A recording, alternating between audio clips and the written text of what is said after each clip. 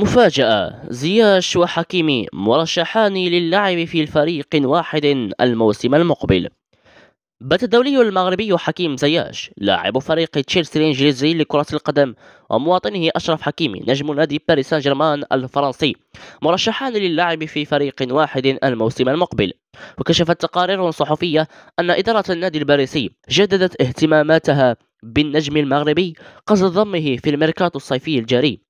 وأوضحت المصادر نفسها أن زياش يتواجد ضمن اهتمامات الفريق الفرنسي في ضمه خاصة في ظل صعوبة التعاقد مع برناردو سيلفا. تجدر الإشارة إلى أن باريس كان قريبا من التعاقد مع زياش في الصيف لكن بعدما نجح في اجتياز الفحوصات الطبية غير أن إدارة تشيلسي تأخرت في إرسال الوثائق المطلوبة لإنهاء الصفقة.